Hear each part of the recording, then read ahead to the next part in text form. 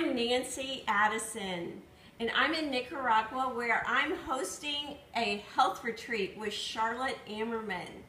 We have these four or five times a year, and we can set them up for whatever kind of group you have.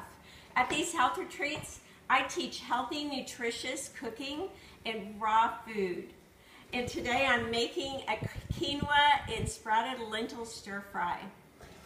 Join us in this beautiful country for adventure and a really inspiring, uplifting rejuvenation retreat. So go to organichealthylifestyle.com and find out more about our workshops and contact me, Nancy, at organichealthylifestyle.com. We would love to have you.